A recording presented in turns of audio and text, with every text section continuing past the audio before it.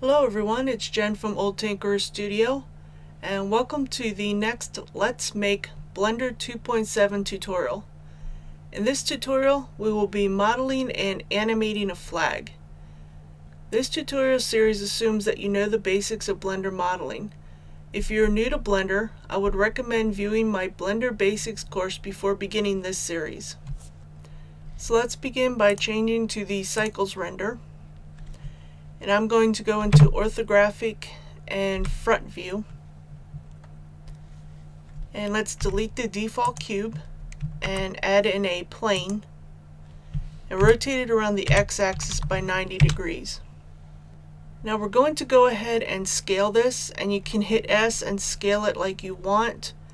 The flag needs to be big enough for the wind physics effect to actually move it. So just keep that in mind. Now what you can do is under the scene tab down here under units you can set your unit presets. I'm going to go ahead and choose feet. Then if you open up the numeric panel with your N key under dimensions you'll see my plane is actually 2 feet by 2 feet right now. What I'm going to do is change my X width to 9 feet and my Y to 6 feet. And make sure you put, like for me it's feet, so FT, or if you're using meters, you can put M behind it to make sure that it's correct. Then you just go ahead and close the panel using your N key. And we want to make sure that we apply the scale. This is especially important if you are going to export this out into a game engine. So to apply the scale, just hit Control A and click on Scale. And over here in the outliner, double click on Plane and just rename it Flag. Now while still in object mode, let's go ahead and add a cylinder. And change the cap fill to triangle fan. And go ahead and place it to the right of the flag.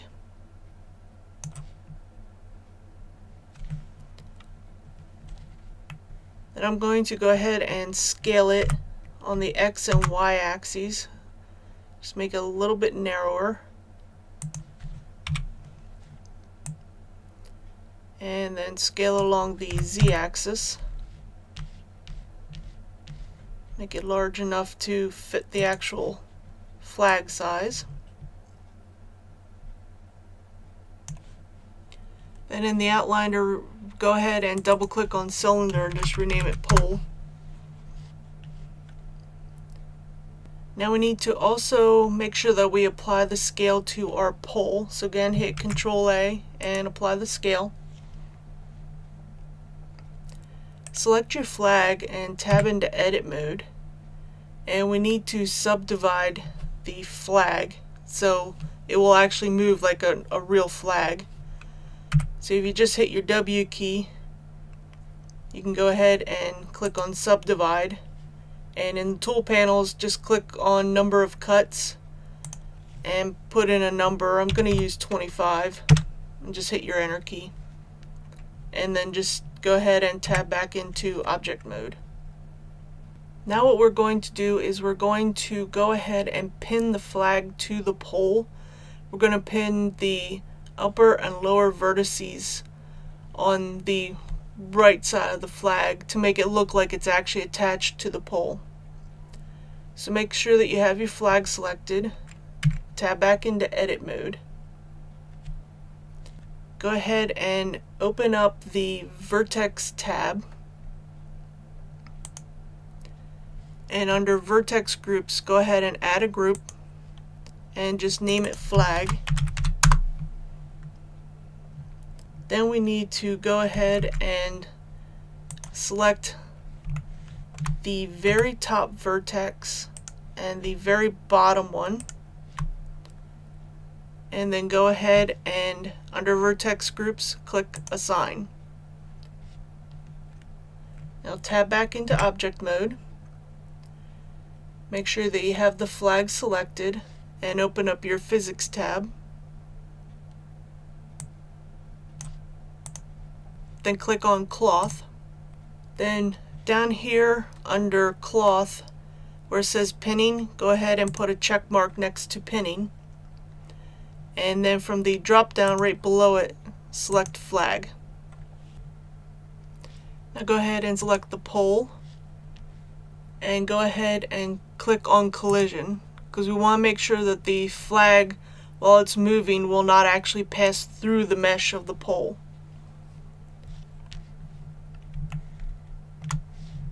Go ahead and click on the play button and make sure that everything is working correctly. It looks like it is.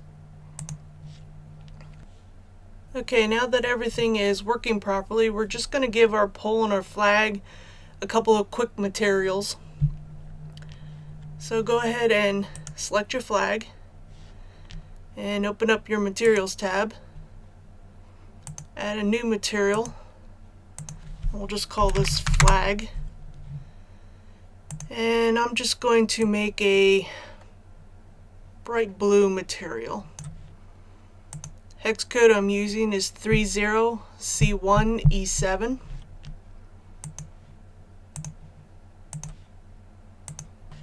Now click on the pole and add a new material. Just name it pole. I'm just going to give it a light gray color. Hex code I'm using is A1A1A1. Now go ahead and tab into edit mode and we're going to split our window into three.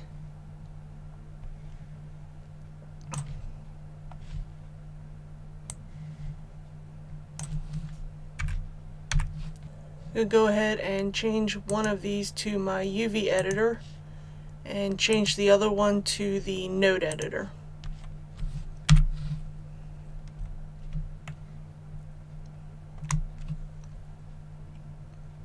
and make sure that your pole is still selected and we're going to unwrap it using a Smart UV project. So hit your U key and just hit Smart UV project. I'm going to give it a little bit of an island margin and click OK. And click on New in your UV window and give this a title.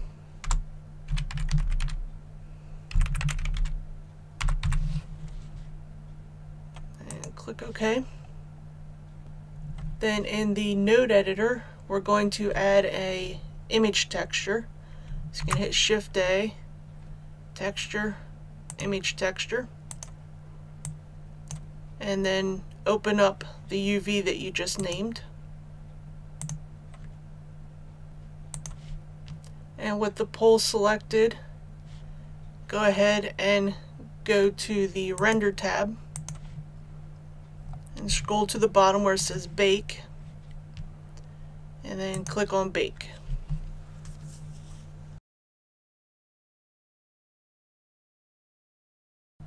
Then don't forget to save the UV as an image.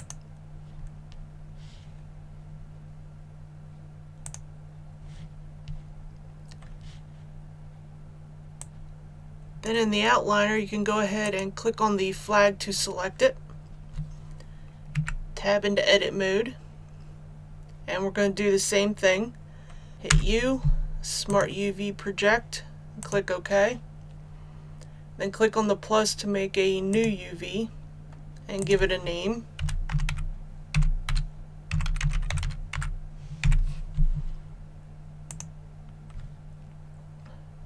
then in UV editor go ahead and add an image texture. And again open the UV that you just named. And back under the render tab click on bake.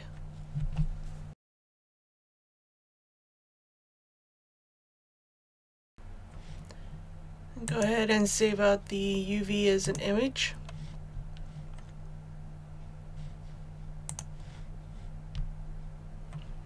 And we can go ahead and collapse these two windows that we don't need them anymore. And collapse that one. Oops.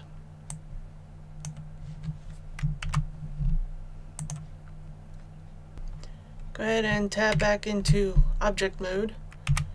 and hit your A key to make sure that you have anything selected.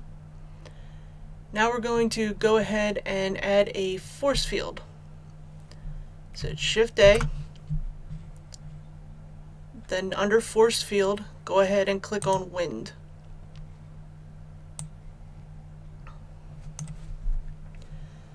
Now you'll notice the small arrow pointing up when you first actually add the wind. That's going to indicate from which direction that your wind is going to come. So go ahead and place this anywhere around the flag or the pole that you want. I'm just going to rotate mine around the y-axis by negative 90 degrees and put it close to the pole. Then go ahead and go back to your physics tab. You see what says force field and wind and we want to increase the strength.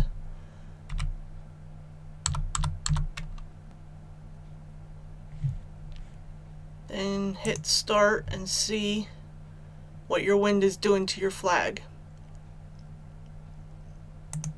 That's a little high. Change it down to, let's say, 500. And again, if your flag is just simply falling, try to rescale your flag because it might not be big enough for the wind to actually be affecting it.